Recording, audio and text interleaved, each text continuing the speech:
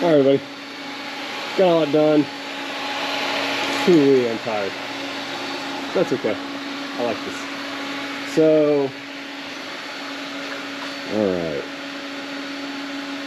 These beams right here on the bottom are 80 inches a pop, 3 by 3 by 80 inches. All of those are 80 inches. Every one of them are 80 inches, okay? The only thing that's not 80 inches is these. These are 74, 74, 74, 74, 74. I initially was going to put just these here, there, there, and up there even. But after I looked at it and I started really doing the math on it, it's really unnecessary. So what I did was just put the two there, pop those up. Those three, four up on the top there.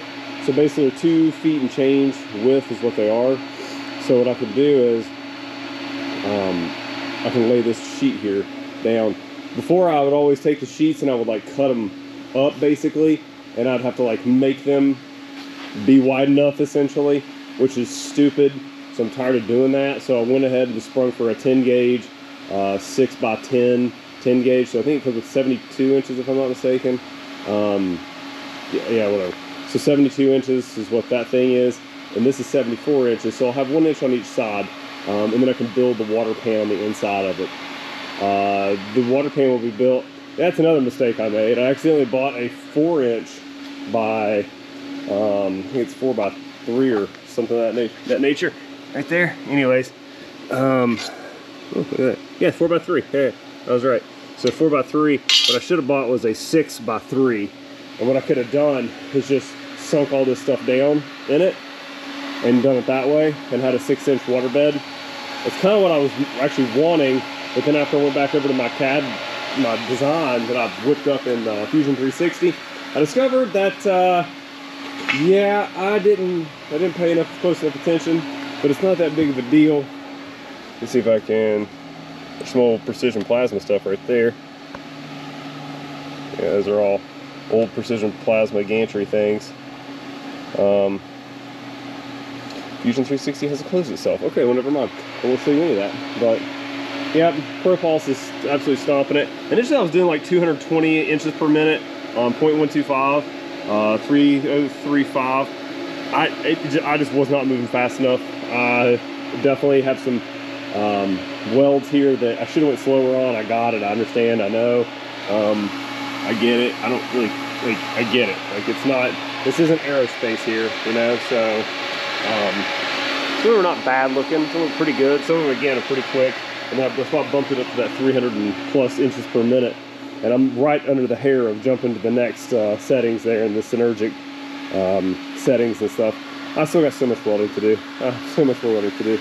Because I need to flip it over to Pulse to do the um, underside on a lot of this stuff. So this all needs some Pulse welds on it.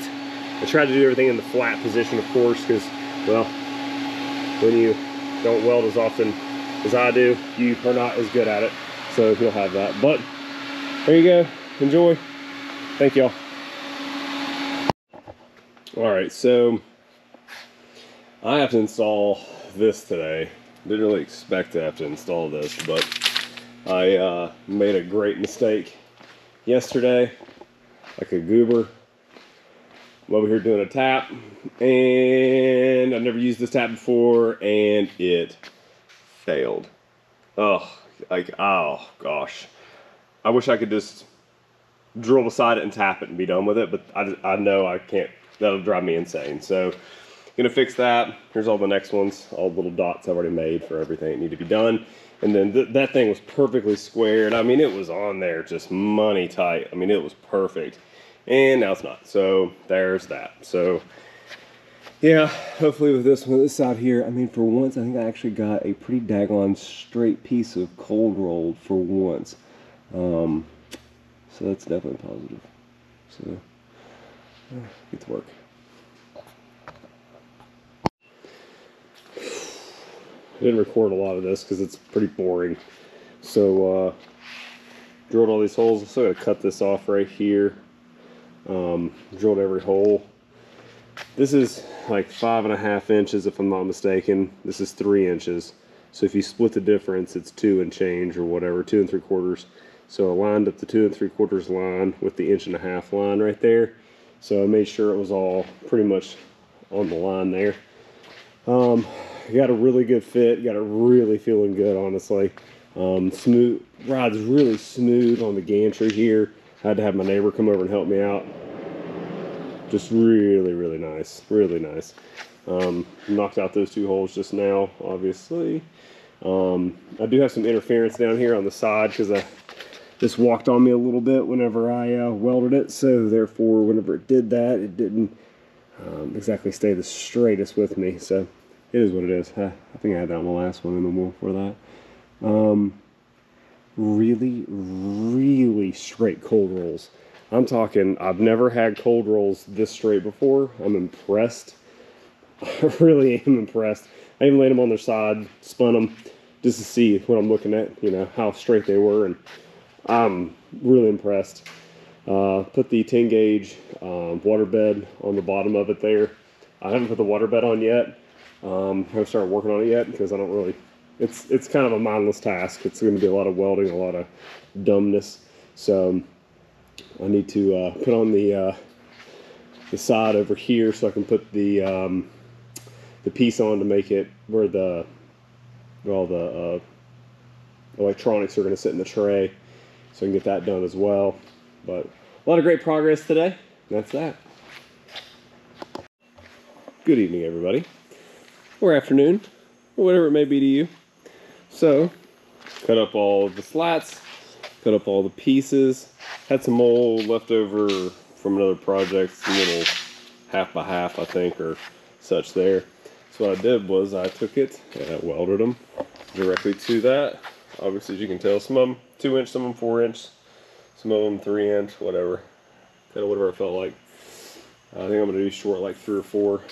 And then once that's done, I still have to weld the back side of this right here. Let's put all that underneath there. Get that over with. Uh, a lot of welding. I've ran out of, I've ran through a lot of weld wire. A lot, a lot of weld wire. So, all the electronics are sitting there ready to rock and roll. So, done really well with all of this. ProPulse has just been killing it on three phase 480. So, feels good. Uh, some of his welds are sloppy. Then again, it doesn't really matter to me. It's just going to be slapped in there. So, yep, just to get back to welding. And that's a wrap. All right. So, a lot of progress has been made. So, still need a, a lot of work left to do on this thing. I um I don't have a few things fighting me on this table, okay? So, obviously, yes, since I recorded this last, I have the water bed in, I have all that stuff done, everything there's completed. What I've been running up against here, basically with this whole table, is that my gearing ratio is off in the Y1, Y2, and then in the uh, X. So the X goes across, right? It's left to right.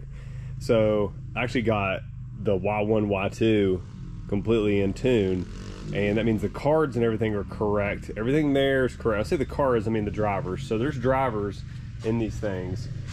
And what it'll allow you to do is to set it to how many revolutions, 3200, stuff like that, different things. So what I'm trying to do is get this stinking thing to cut two inches by two inches. Hence all the little squares and rectangles and what have you I've put in there. So that's what it is so far. Um, it's just been, I mean, I've gotten really, really close, really, really, really nice, but I'm still no dice. So trying to work with it. Working with this uh, PowerMax 125 has been interesting. You see all my different little test pieces I've cut right there. Uh, my circles were not circles, they're ovals and looking like crap, and that's actually the last one right there um, here. So this one, like this is what it started out as, because one of the, I just, you got to know your machine. So that on that side, this on that side was all kinds of incorrect and wrong. So had to take it, take it apart, put it back together, get it really tight, get it right, and then it just clean, cleared it up immediately. Then I discovered that uh, the gearing was wrong, so then it was cutting wrong and trying to do wrong.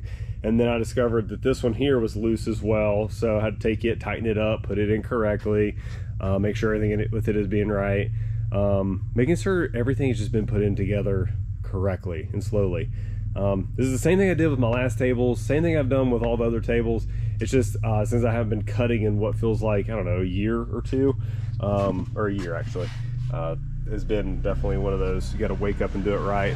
Also, my goodness, I also don't have genuine consumables, which really frustrates me. I don't cut usually with anything other than genuine consumables. And I have a couple consumables, but even with these, I mean, I, they've seen better days. We got one here, it's a nice one, right? 45, 65. Yeah, like I got a couple of them, they're pretty nice. And either these product numbers have been updated and they haven't updated them with this, like with this sticker right here. It's even like some of my corresponding numbers are not correct either. So that's frustrating. So again, many little things just to figure out and fix and make right.